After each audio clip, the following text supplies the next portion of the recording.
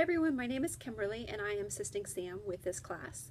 Um, so today in this video we're going to recap Unit 2 and talk about some of the key ideas that came up in the discussion uh, boards and in the readings about formative and summative assessments. And then we'll preview some of the assignments and some of the things that y'all will be doing in Unit 3. When we're thinking about the difference between formative and summative assessments, um, the big difference is not in the assessment itself, but in how you are using the information from the assessment. Um, so as a reminder, Black and Wiliam defined formative assessment is when evidence is actually used to adapt the teaching to meet the student's needs. So if you have an assessment, whether that's a quiz or a test or an exit ticket, um, whatever it might be, that is just an assessment. Um, and then if you choose to take the information um, about students learning from the assessment and use it to adapt your teaching, um, then it has been a formative assessment. Whereas if you choose to assign it a grade and then move on, um, then it can be considered a summative assessment. Both of the articles that we read in this unit talked about the benefits of using formative assessment practices in the classroom in terms of student achievement, um, especially for students who are maybe struggling in mathematics. To summarize the two articles, I'd like us to revisit the conclusion of the Five Strategies paper, um, which said that the available research evidence suggests that considerable, considerable enhancements in student achievement are possible when teachers use assessment minute by minute and day by day to adjust their instruction to meet their students' learning needs.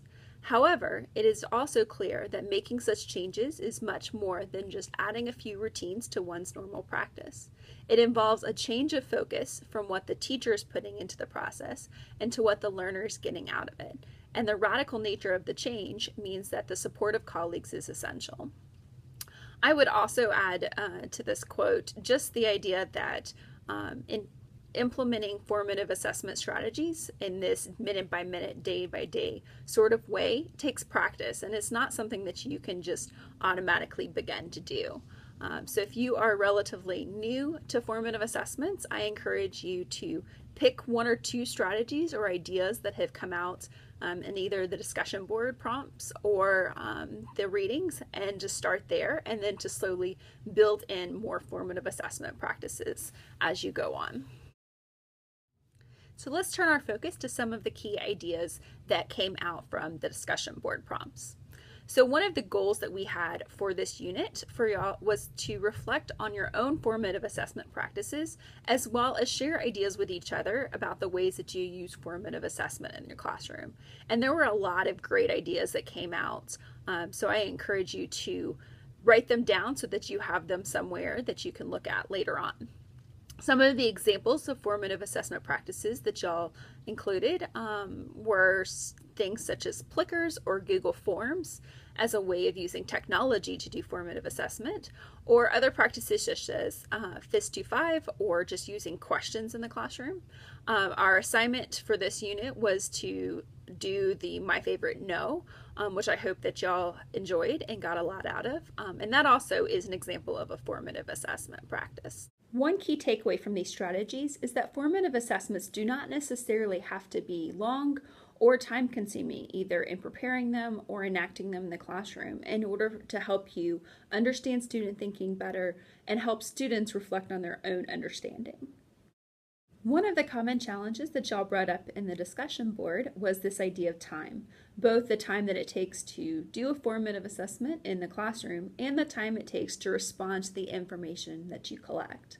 Julie Hubbard, for example, mentioned in the discussion board that she sometimes found that she had collected so much evidence of student learning that it was almost too much to organize or deal with which then made the information she collected useless because she wasn't able to make effective changes to inst- her instruction in a timely manner.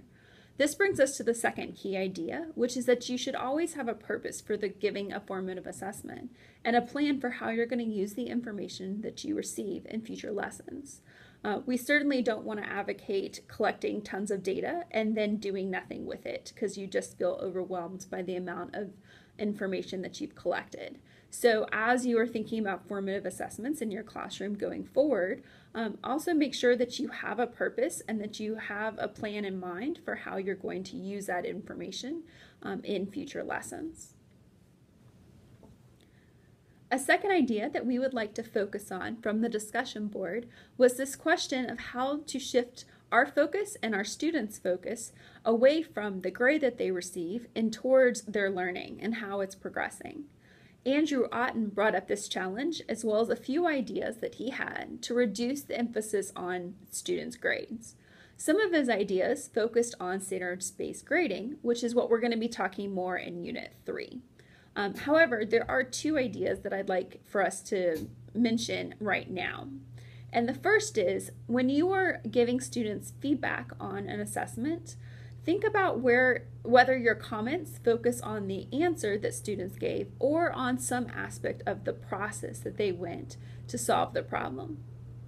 And then the second question to think about is where you're placing the student's grade on their paper.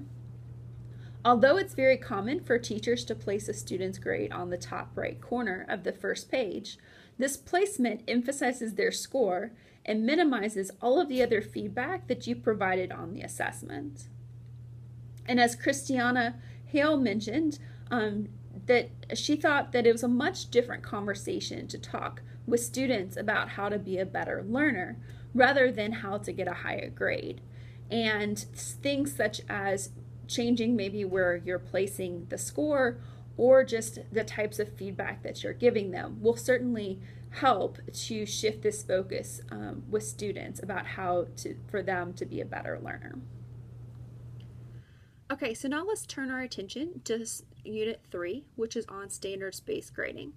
So for this unit, you've got two readings and two discussion board posts, including one where you'll be putting your comments into a VoiceThread. So like in the last unit, we would like you to make your initial post in each of the discussions during the first week of the unit, and then come back in the next week and reply to some of your some of the comments that have been made by other people in the class. Now, one important thing for y'all to be aware of is that your assignment for this unit is a little different um, and it has three phases with three separate deadlines. So for the first phase, you're going to be solving a math problem and then submitting your work to us by this Wednesday. Then in the second phase, you're going to create a rubric um, that could be used to grade students' work for the tasks that you completed earlier in this week. Your rubric is due to us by Sunday, September 24th. And then at the beginning of the second week, um, we will send you some anonymous student work from other people in the class. Then for this last phase, you are going to use the rubric that you created and score the student work that we sent you, as well as provide them with some sort of feedback on their work. This last phase will be due by the end of the day on Sunday, October 1st. Now, there's more details about this assignment in Canvas, so I encourage you to look there. So this concludes our summary video about Unit 2, which was on formative and summative assessments. As always, if you have any questions about assignments or anything else for this class, feel free to contact Sam or I, and we look forward to hearing about your ideas about standards-based grading in the discussion board over the next two weeks.